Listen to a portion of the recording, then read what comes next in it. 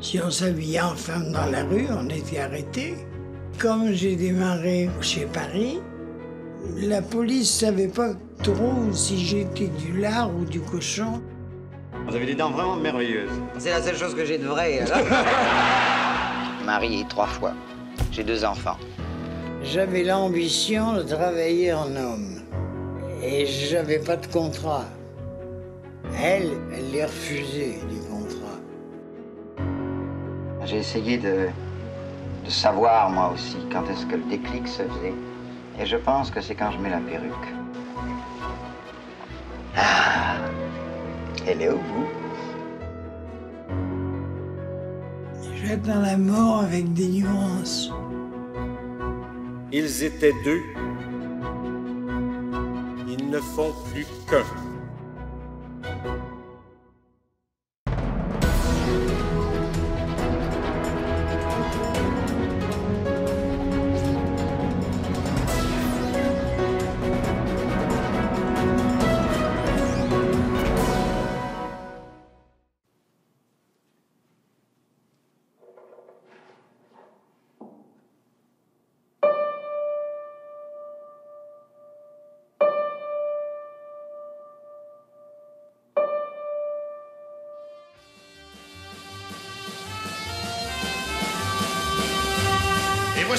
Celle que vous attendez avec impatience, une femme pas comme les autres.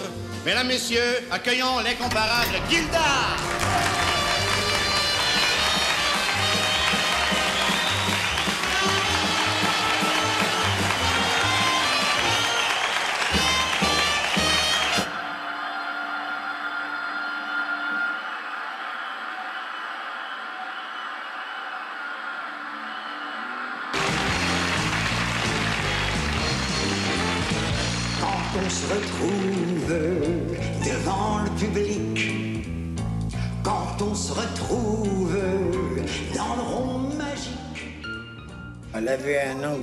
Sur le public formidable. Elle avait une cote d'amour. Elle était demandée de partout, à Rome, à Madrid, à Johannesburg. Des gens connus, Luis Mariano, Nana Mouskouri, Zizi Jeanmer, Joséphine Baker, c'est ma marraine.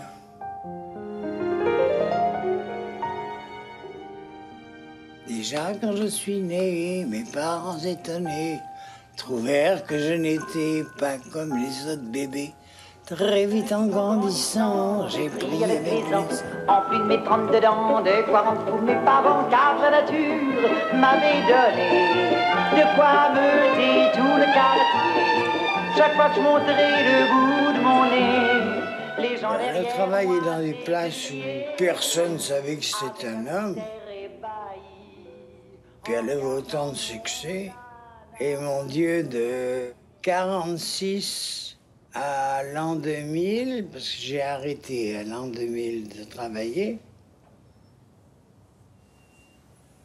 ça fait, ça fait du boulot, ça. Elle gagnait beaucoup d'argent. Elle m'a donné une belle vie. Je n'aurais pas eu autrement. Pendant 60 ans, elle a travaillé comme une folle. Moi, j'étais le manager.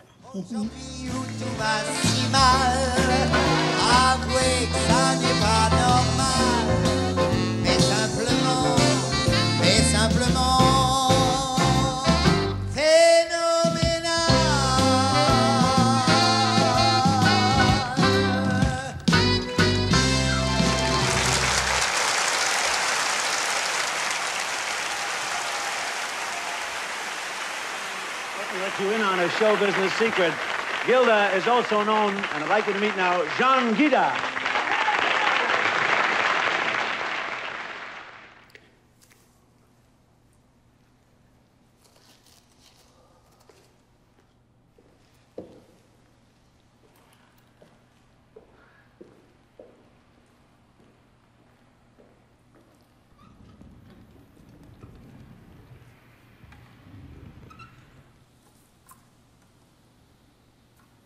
J'étais au secondaire. Une de mes sœurs nous appelle à la maison elle dit euh, Hey, les enfants, euh, ouvrez la télévision euh, et mettez ça à tel poste. Qu'est-ce que vous voyez? Ben, une madame blonde qui chante. Est-ce que vous la trouvez belle? Ben, belle, belle. Belle, tu dis? On dirait Zaza Gabor. Ben, elle me dit c'est un homme. Le choc. J'ai passé le reste de l'après-midi à, m'imaginer c'était quoi ce job-là. Mais je trouvais que c'était le plus beau métier du monde parce que tu triches un peu et que les garçons te regardent parce qu'ils te trouvent belle femme. Alors celle-ci, euh, c'est sûrement ma préférée de toutes. Parce que, tout simplement, euh, Jean, quand il, il rentrait de travailler le soir, euh, il n'y avait pas de beau tissu assez pour lui. Alors, il s'y faisait lui-même. Tout ce que vous voyez comme euh, motif, euh, petites fleurs, petites feuilles, ça a tout été posé perle par perle. Des heures et des heures de plaisir.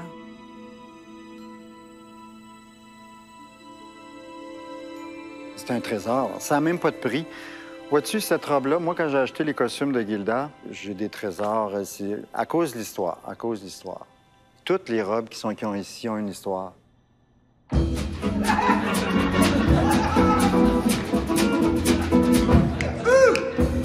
A toujours eu une histoire d'amour assez particulière entre lui et le public québécois. On le voyait toujours comme un phénomène. Ça, c'est Cléopâtre.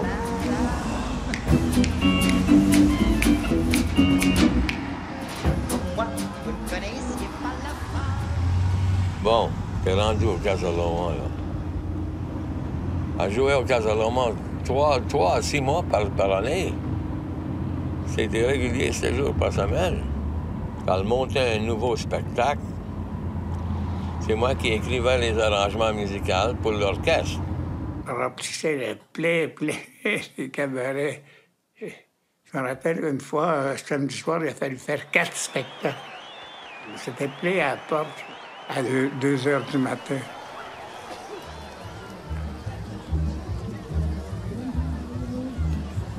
Ah ah ah, le trottoir.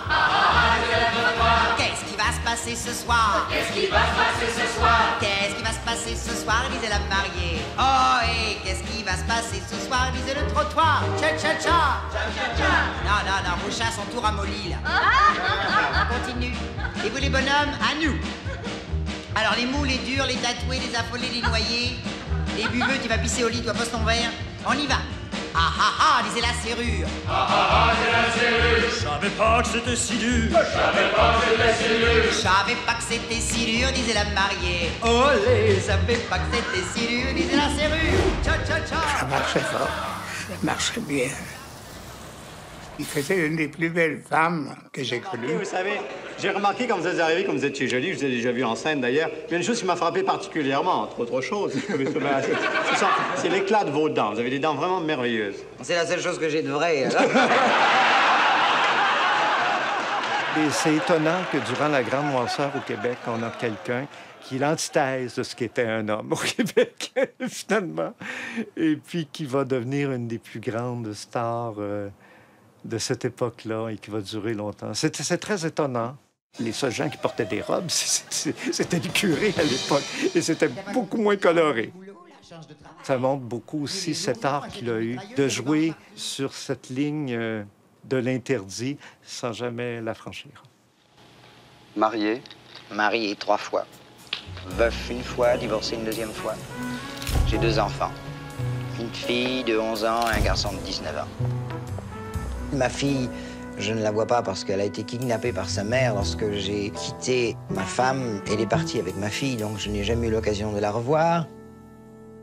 Comme elle était alcoolique, elle savait très bien que la loi serait de mon côté. Moi, j'arrivais, elle, elle partait pour les États-Unis avec ma fille. Le temps que j'arrange, que je trouve, elle avait disparu.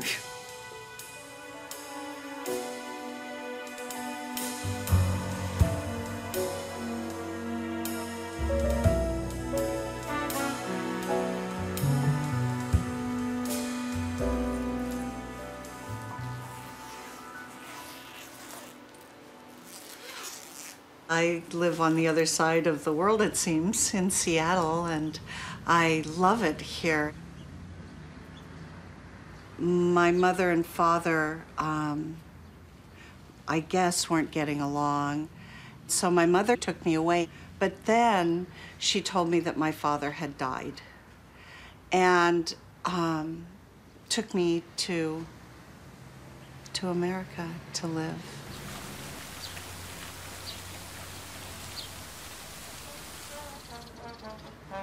I'm so excited to be in Montreal.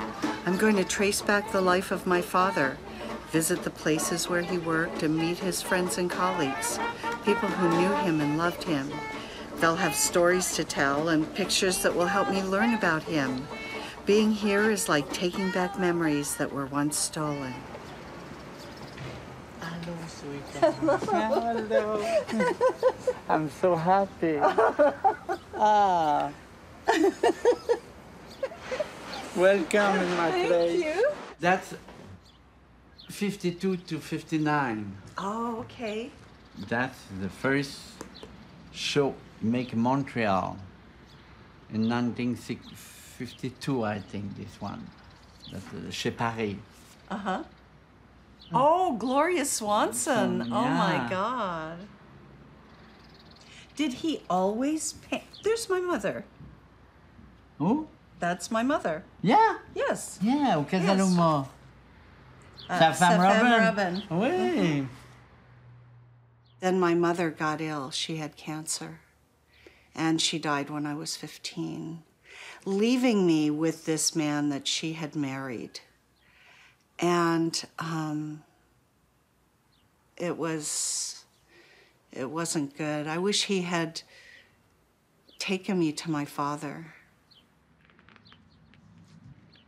It's funny when I see some of the, them, I The go, yes. you remember one. Yes, I remember that.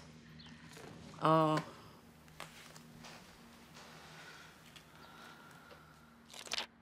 Dans ce rêve incarné de la femme, les hommes essaient de comprendre que des êtres sans assise morale solide osent aller jusqu'à des actes contre nature, jusqu'à des manières de défi à la création.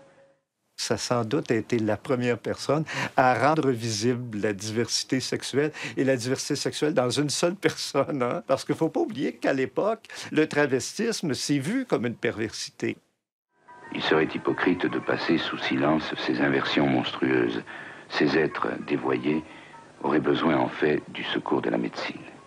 Mais lui, comme c'est un art et un art qu'elle réalise très, très bien, alors euh, ça passe tout autrement. C'était nouveau partout. C'était défendu. Si on s'habillait en femme dans la rue, on était arrêté.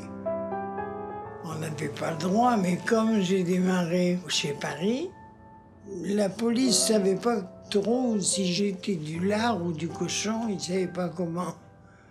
Alors ils sont venus pour m'arrêter, mais je n'ai rien à faire qu'on est là, on va regarder le spectacle. Et ils ont aimé. J'ai fait une tournée de France avec mon big band. Puis à la fin, été à Paris.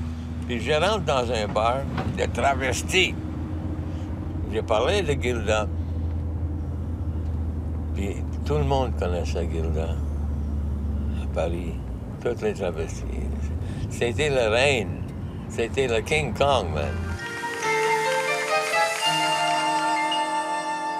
Si le rencontrait la Seine, il lui ferait la cour, lui parlerait d'amour aussitôt. Si le Saint-Laurent Gilda en France, dans le milieu transformiste, est considérée comme vraiment la star, la reine des transformistes. Alors nous arrivons ici devant le cabaret mythique hein, chez Madame Arthur. C'est donc ici que Gilda a fait ses premiers pas en tant que travestie, que transformiste. Ben, il a fait beaucoup de cinéma. Il était figurant, mais il changeait tellement de maquillage. Il était dans différentes scènes et c'était plus une même- la même tête.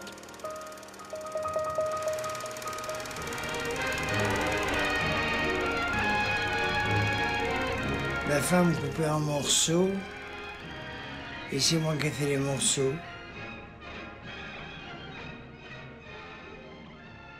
Il n'y avait pas de travesti à l'époque, c'était pas à la mode. Alors j'ai surpris tout le monde euh, quand ils m'ont vu arriver. Ils n'en revenaient pas. Mais ça m'a démarré une carrière que j'avais pas prévue du tout. J'avais pensé à tout sauf à faire une carrière habillée en femme.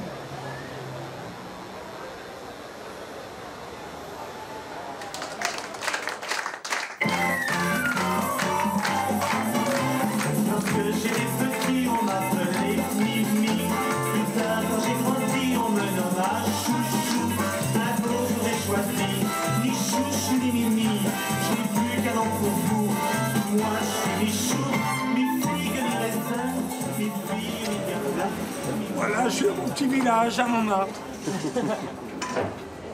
Les célèbres travestis après leur génération.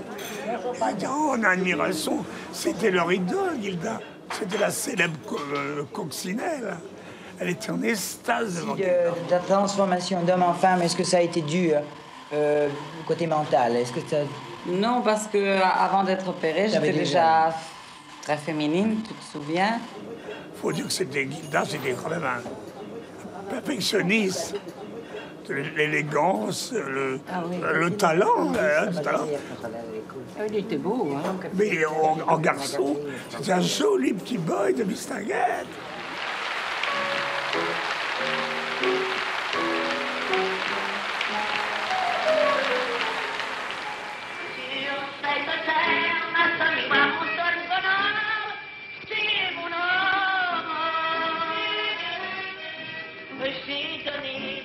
Mistinguette est venue un soir.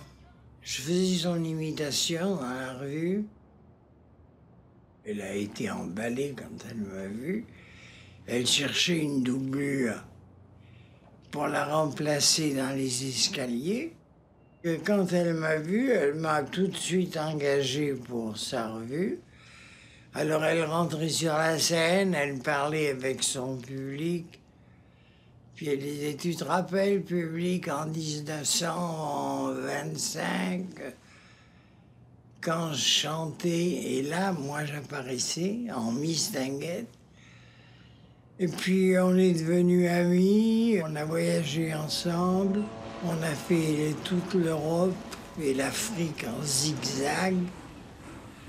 On est venu à Montréal en 51. Oui, c'est moi, me voilà, je me ramène. J'ai vu London, j'ai vu Turin, l'Autriche, l'Hongrie. Je travaillais Gilda en stage, j'en avais marre de faire des imitations. Alors j'avais créé Gilda. Alors j'ai cherché un maquillage, une couleur de cheveux, une coiffure, un style. Et petit à petit, euh, j'ai été rouge, j'ai été brune, j'ai toutes les couleurs de l'arc-en-ciel avant de, de voir qu'en blonde j'étais plus jolie. Et puis c'est comme ça que ma carrière est partie.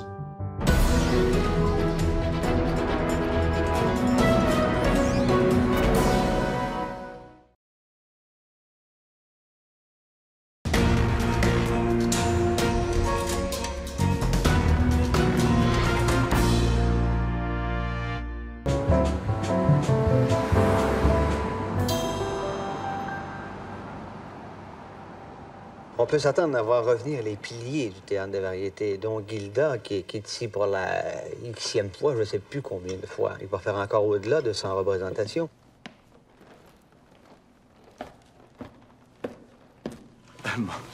Quel souvenir, hein? Oh là là. Les gens qui ont passé ici. C'était rempli tout le temps, tout le temps. J'ai eu le théâtre pendant 33 ans. Il a dû être ici pendant 32. On remonte en 1967. Il y avait un paquet de robes, il y avait tout, autour des robes de Gilda qui étaient là, là. Euh, tout était accroché au plafond. Fallait, on n'avait pas d'espace nulle part. On pas. On ne pouvait pas lui demander de, de couper ses costumes. C'était ça sa force. Alors, euh, euh, il y a eu tellement de changements. tellement, tellement de changements. Mais que, que de beaux souvenirs. I worked with your dad at the Théâtre Variété as a dancer. Working with him was like nobody else. Yeah. You could be doing the same show for three or four months, six or seven nights a week, and he could still make the people on stage crack up. he could do it at the drop of a hat. And it, that's a real talent. Once you've been there that long in a show, you can pretty well sleep your way through it. Right. But man, your dad was. Uh, Un sens de l'humour extraordinaire. Doublé d'un sens du ridicule. Et ça, c'est très important pour un métier qu'il faisait. Ben non, mais moi, j'aime mieux mordre là, de la viande et plus tard. And this is you. Yeah. That's him. He was in the same business as your father. was in He's the a same female business. impersonator. Uh-huh. You have to be a special personality to be able to impersonate with such dignity and respect. And uh, you have to be comfortable in your own skin. Yeah. You cannot do that and You not be can't, comfortable in your skin. You, You can't. can't force them to accept you. You have to be at peace with yourself. And I think he was at peace with himself.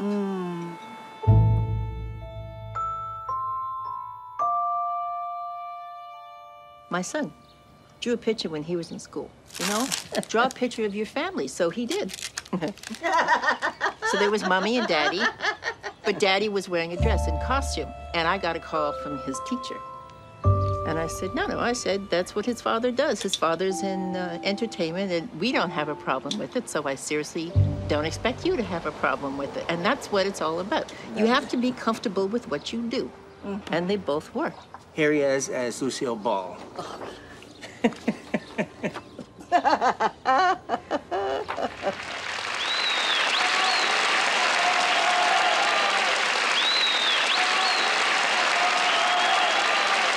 est pas mal pour son âge.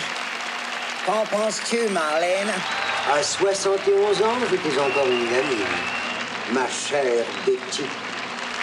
Oh, bitch. Toi. Je n'oublierai jamais. Quand il faisait, par exemple, Edith Piaf, il se mettait des élastiques après des poignets comme ça pour gonfler les veines. C'est du détail, tu comprends. Mais, mais c'était, c'était ça, Gilda. C'était un peintre, il, avait- il remarquait tout ça. Et ses maquillages, c'était des peintures, tu comprends? Quand il faisait Brigitte Bardot, c'était ça. Quand il faisait Marilyn Monroe, c'était ça. Quand il faisait Piaf, c'était ça aussi. Malheureusement, elle avait plein de qualités, mais son, ennemi, c'était l'argent. Il était incapable, incapable de garder de l'argent, jamais. Il faisait une revue, il faisait peut-être 40, 50 000 piastres avec sa revue. Il partait à Paris. Il allait voir Madame Février. Il achetait pour 40, 50 000 piastres de plumes. Lui, il revenait, il avait plus une scène. C'était ça, Jean. C'est comme ça. Lui, lui, il payait son loyer, ça ne l'intéressait pas. Mais tout ce qui... L'argent qu'il avait, c'était de le réinvestir dans une prochaine revue.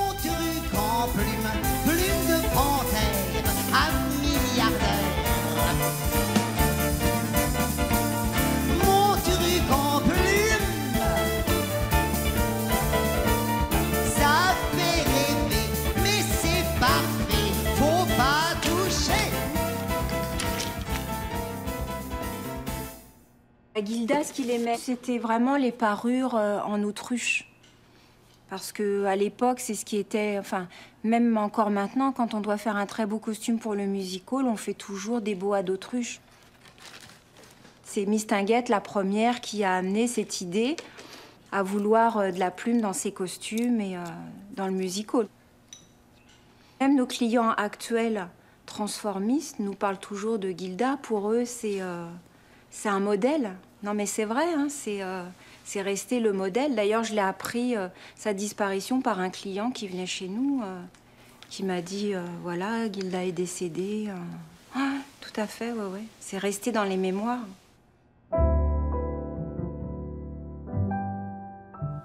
Jean C'est la perruque qui faisait le costume. Très, très, très perfectionniste. Aucun détail échappait. Et tellement euh, que. Il, il est mort pauvre parce qu'il dépensait énormément.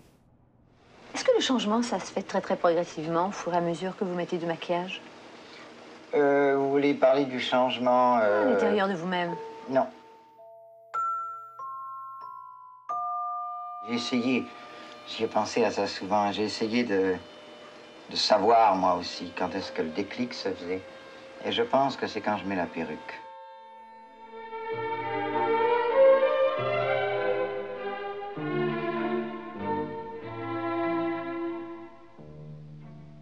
Cette différence entre Jean et Gilda était vraiment, mais vraiment apparente. Quand on avait des problèmes, on allait le voir, c'était Jean, on allait le voir après un show, au restaurant, on en parlait, puis là, il était, il était mou. Il était, oh, essayez de vous entendre, là, les boys. C'est où Gilda arrivait, posait le pied sur la scène. Wow! Là, c'était Gilda, la patronne. C'est elle qui décidait tout. Et euh, là, ça se réglait. Là, euh, là, ça- on craignait Gilda. Puis c'est une chose qu'on retient du couple Jean et Gilda, c'est que Jean était au service de Gilda. C'est peut-être ça qui le rendait un peu euh, triste parfois. Gilda prenait toute la place. Maintenant, c'est la perruque. Maintenant, c'est la perruque. C'est là que ça se passe, alors. C'est là que ça se passe.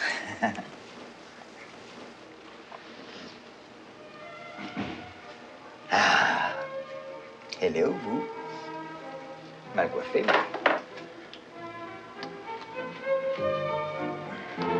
Et le déclic? Le déclic, c'est fait.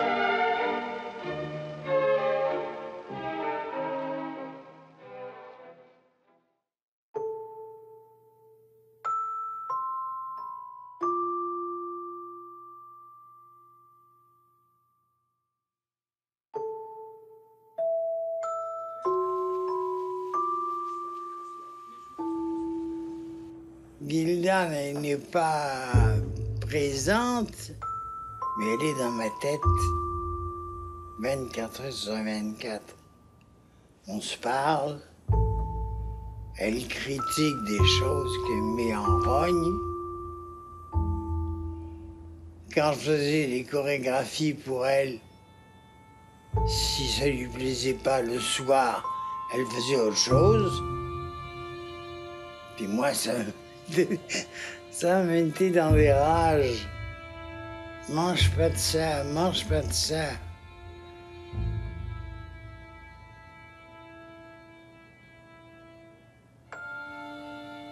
Je me disais ça peut y foutre. Ça mangeait quand même. Non, elle veillait sur sa silhouette. Elle voulait pas grossir.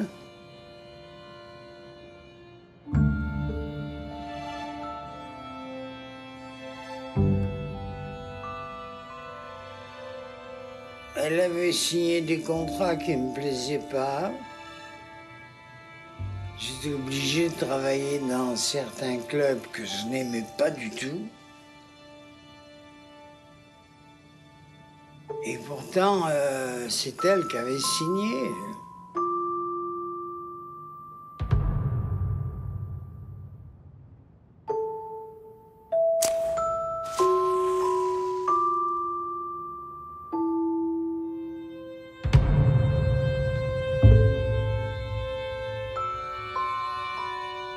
J'avais l'ambition de travailler en homme.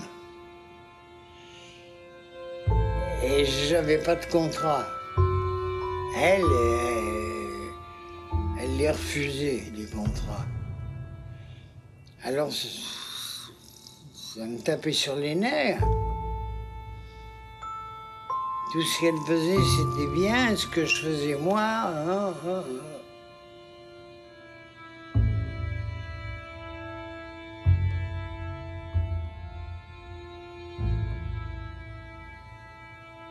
puis j'étais obligé de, de faire ce que ce qu'elle décidait.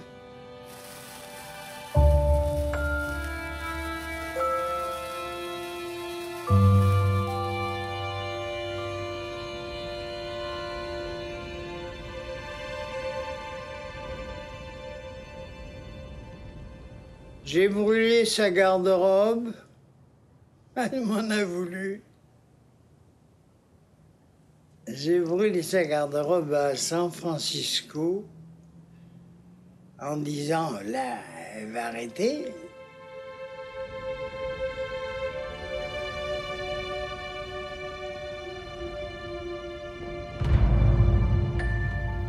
Et puis, je n'ai pas trouvé de travail et j'avais des contrats pour elle qui attendaient. Alors, il a fallu que je refasse sa garde-robe.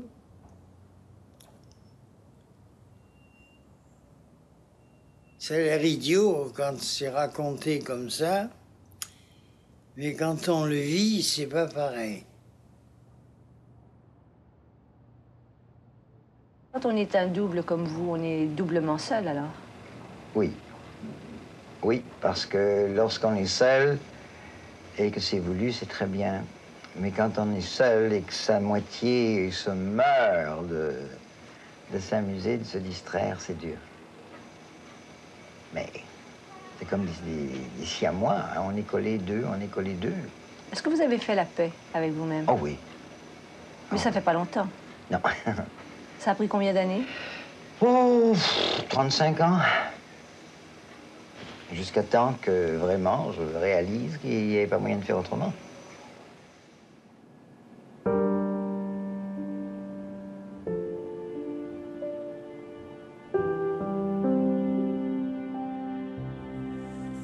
C'est des cornes de buffle. Ça vient du Laos.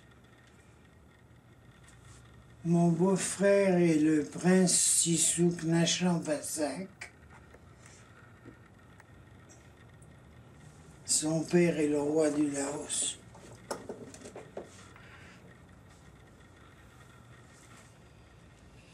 Ma sœur est princesse puisqu'elle a épousé un prince. Moi, je suis comte. Pas en banque. Monsieur Jean Guida, qui êtes-vous?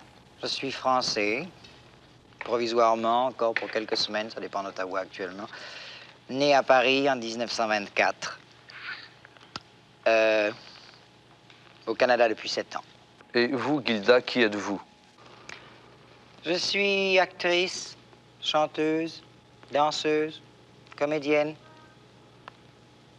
Je suis toutes, toutes sortes de femmes, en une seule. Que faisiez-vous avant d'être Gilda? Avant d'être Gilda était d'une famille noble, et ça c'est vrai. Il s'appelait Jean Guida le Montellaro. À l'époque, j'avais 18-19 ans, j'avais rencontré sa mère, la, comtesse de Mortellaro, et euh, qui était une femme avec une classe absolument extraordinaire, comprends-tu? Et euh, elle m'avait dit un jour, si jamais vous venez sur la Côte d'Azur, vous venez visiter.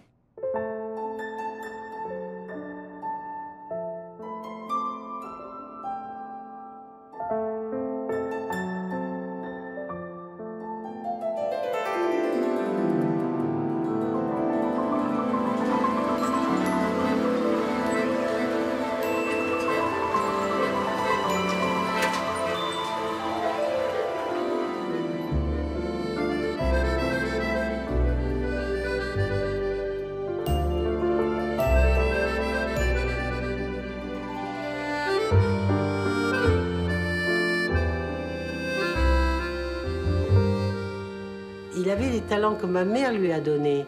Parce que maman, à l'origine, était. euh, Elle avait cette voix, que belle voix, et elle aimait le faste aussi. Et ben Jeannot, il a hérité totalement de maman. Je dois reconnaître que la garde-robe de maman a eu une énorme influence euh, sur ma carrière. Parce que très petit, j'adorais euh, jouer dans ses robes, euh, ses fourrures, ses bijoux, ses produits de maquillage. Jeannot, c'était le chouchou. Mes trois premiers frères et sœurs, ils avaient tous une gouvernante. Mais Jeannot, il aimait, il aimait beaucoup le tralala. hein. Alors pour lui, la noblesse, c'était très, très important. On avait l'hôtel d'Europe à Avignon. Mon père était le propriétaire.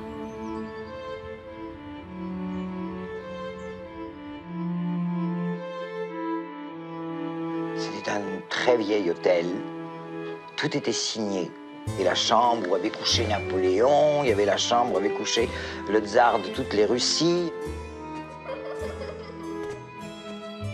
J'avais cette atmosphère de, un peu de cathédrale dans cet hôtel. Il y a eu le crash américain. En France, ça a été dur. Le contraste de sa vie, il a connu le luxe, mais il était bébé. Après, il a connu quand même la guerre. Il s'est battu, Jeannot, quand il était dans le maquis. Il y avait les Allemands qui recherchaient les jeunes, qui se cachaient. Nous, on sortait du village pour les nourrir. Et tous ces jeunes, dont mon frère, qui avait à l'époque 17 ans, 18 ans, ils se battaient, quoi. Et là, c'est là où il était. Il a commencé à, abandonner pour faire de la peinture.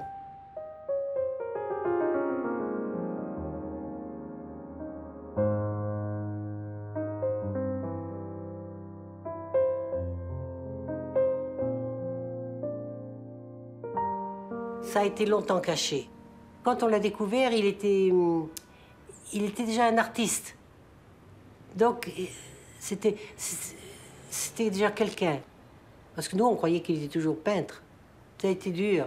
Ça a été dur pour, pour mon père qui était très, très strict, très pratiquant, très euh, croyant, vous savez, catholique. Et pour lui, c'était dur, ça, de voir son fils dans ce milieu-là. Mais finalement, on, s'est habitué, quoi. Il était comme ça, c'était comme ça. Surtout qu'il était tellement gentil, Jeannot. C'était il était très doux comme homme, très affectueux. Oh, on a beaucoup aimé. Mais bon. Il avait une vie tellement différente de la nôtre.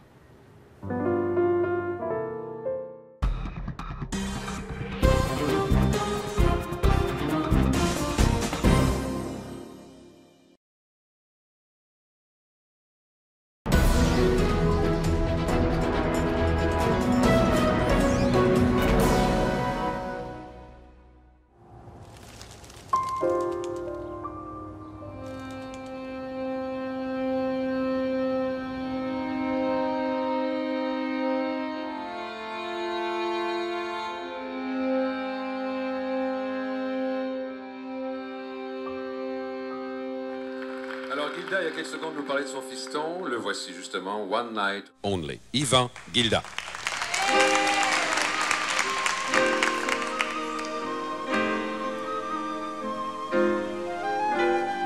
Tu veux tout de moi, mon cœur, mon esprit. Yvan, j'ai pas pu épouser sa mère. Et entre-temps, Yvan était né. Il vivait à Rivière-du-Loup avec sa mère. Et Yvan, quand il a eu 16-17 ans, euh, m'a dit je veux aller vivre euh, un peu avec mon père, bien le connaître, savoir euh, ce que nous avons en commun.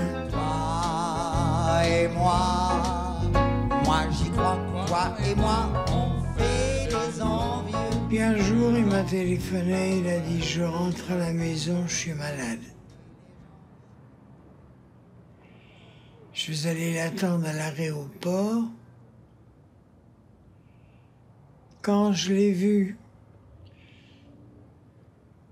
poussé par une hôtesse dans une chaise roulante,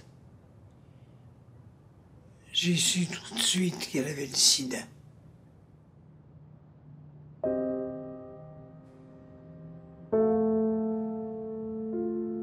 C'est toute ma vie qui est morte.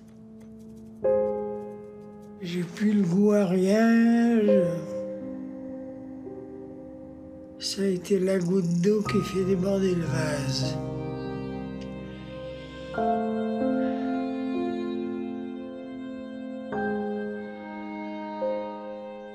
Jean pleurait tout le temps, tout le temps, tout le temps. Oh mon Dieu, qu'il était triste. Je l'ai invité souper chez moi, puis il écoutait des, des chansons qui rappelaient Yvan, ça, puis ça avait été euh, dur. Il ressemblait à Jean, c'était incroyable. Yvan avait des petites dents, comme Gilda. Vraiment, il avait l'air de son fils. Tout le monde y croyait. Et euh, à la fin, je dirais qu'ils avaient plus une relation père-fils euh, qu'au début. J'aimerais vous dire un petit mot à votre fils, un peu. Comment vous aimez ça, travailler avec maman, papa, maman, papa, papa? C'est bien. C'est bien? Ouais. C'est bien. Yvan est était un est coiffeur de Québec. Son vrai nom était Irénée. Gilda était par hasard dans un cabaret de Québec et puis il a vu Yvan danser. Il était grand, il paraissait bien, il était bel homme. Alors, euh, puis finalement, ils, ont fait connaissance. Puis euh, euh, Gilda lui a dit Écoute, euh, si tu veux être avec moi, partager ma vie, je vais te faire faire les- toutes les scènes du Québec. Euh, tu vas apprendre à danser, puis tu pourras être dans ma revue, puis euh, je t'amènerai partout. Jean s'était marié trois fois. Ouais. T'étais en compétition avec tes femmes. People wonder why would someone like Jean get married? You know, he was uh, a female impersonator. You know, most of them these days are gay, but of course, in in the very early days, many of the gay men got married in order to sort of hide who they were. Mais aussi, à l'époque, faut dire que probablement que s'il avait pu vivre sa vie librement, c'est sûr que sa sexualité aurait été différente de celle qui criait sur les toits. Parce que, mais à l'époque, c'était ça. Puis pour sa carrière, c'était important qu'il garde cette image-là. Alors, il tombait amoureux, mais c'est toujours caché. euh, il souffrait beaucoup. L'amour l'a fait souffrir beaucoup, beaucoup, beaucoup. De ne pas... Parce que même aussi, les gens avec qui il tombait en amour, quand il était en Gilda, oh, wow! C'était... Mais lui, il voulait pas que... Il n'aurait pas voulu que l'autre couche avec son, son tube de make-up. C'est moi, moi, non pas l'image que je projette, c'est ça. Tu avais bien promis, lorsque tu es parti, d'écrire, oh mon amour, et j'attends chaque jour une lettre de toi, quelques mots de ta main, disant comme autrefois ces mensonges divins. Écris, je t'en supplie. Da. Je saurai que tu vis et je pourrai sourire.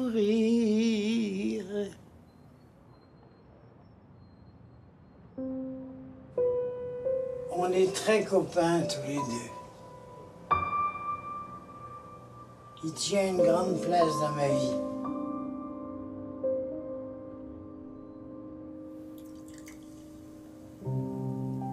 Gens qui me voient pour la première fois trouvent que j'ai l'air triste. J'ai pas l'air heureux. J'ai jamais été vraiment malheureux. Mais je m'en rappelle pas avoir été heureux. Les gens s'imaginent parce que je suis connu que j'ai une vie euh, merveilleuse.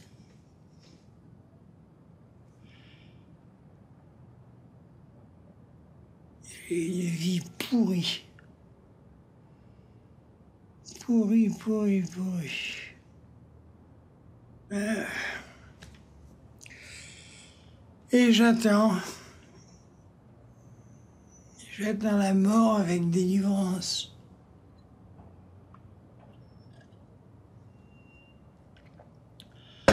Les gens ont peur de mourir, ben mon Dieu, pas moi.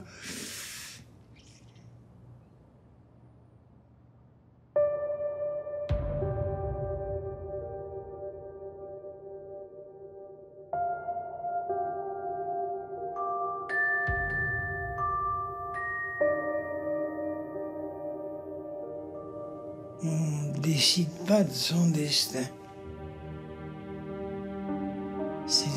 Dans le ciel, comme on dit.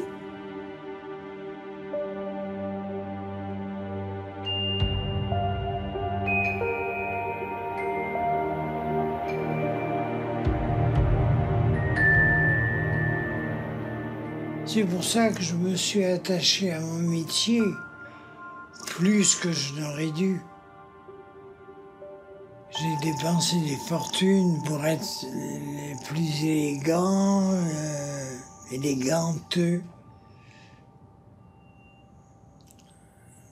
Je me suis vengé sur ma garde-robe.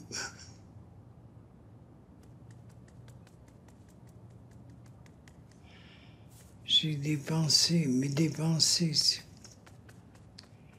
J'ose même pas y penser, alors c'est vous dire. Des chinchillas à 80 000 dollars. Visons.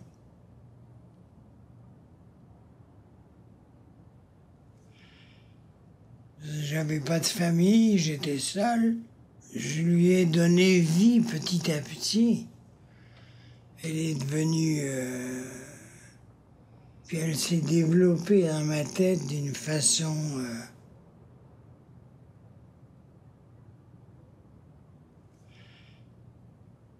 Pour le bien du reste, parce que les décisions qu'elle a prises ont toujours été bonnes.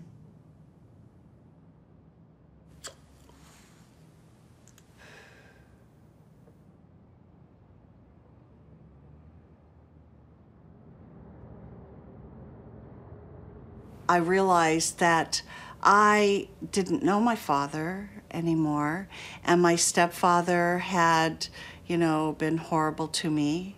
And then I got home, and there was a box that was waiting that had come in the mail. And so I opened it up, and there were pictures of me um, throughout my life that had been sent to me by my stepfather. Then um, I came to a picture, and it was a picture of me and my father um, when I was young. And I just looked at it and I saw, um, you know, how much I had loved him and how, how he had loved me and how I just felt safe with him. And I'd never, ever felt safe like that before. And I knew that, I knew that, um, that that was the truth. And so I turned the picture around and it said, Gay and Jean, Montreal. And without even thinking, I went to the phone and I called information in Montreal. And I asked for a phone number for Jingida. And I got a number and I dialed the number. And this French accent comes on the phone. And I just said, This is probably going to sound crazy to you, but uh, my name is Gay. Guy, c'est déjà pas un nom courant. J'ai dit ah oui. Et elle me dit mon père est mort et je voulais savoir s'il avait de la famille à Montréal. Je dis il est mort de quoi Ah, Elle me dit ma mère pas dit. And he said, Gay, it's you. And then I found him. I was 40 years old. And then, yeah.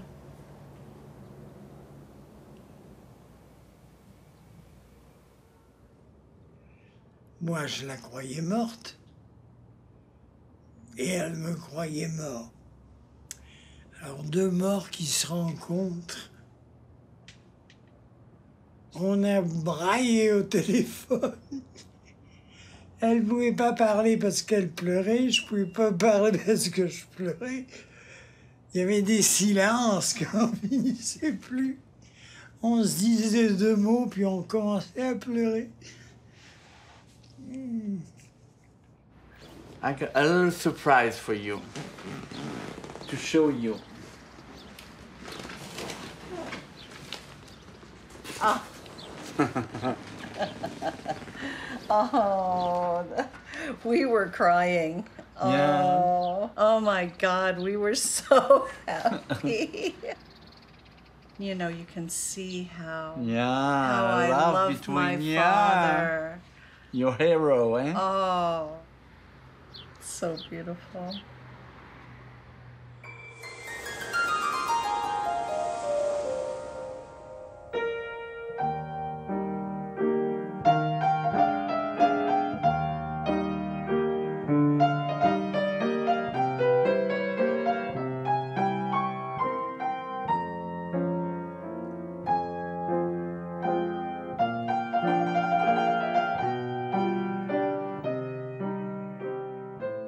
Tu étais bien dans ma peau, mais ta gaine me faisait mourir.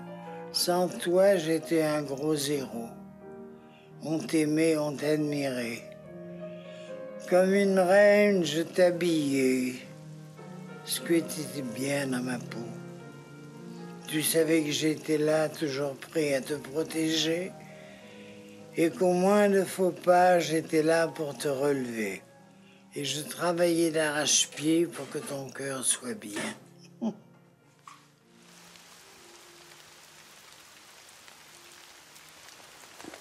Daddy, I've gotten used to being with you in spirit, and so it is today. How incredibly blessed I am to be the daughter of such a creative, inspiring, and wonderful person. You were so graceful and elegant in everything you did. Most of all, you love your fans and your family, and your family and friends love you.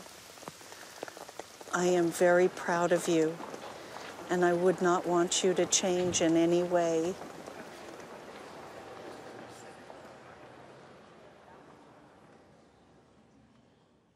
L'incomparable Gilda, l'unique, la magnifique. Ils étaient deux, ils ne font plus qu'un.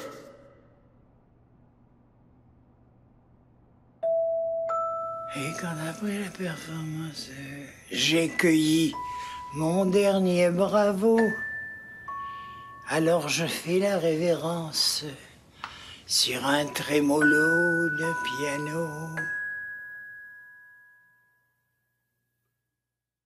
Je retrouve alors la solitude dans la senteur des fleurs fanées et toujours seul, comme d'habitude. Je rentre alors pour me changer.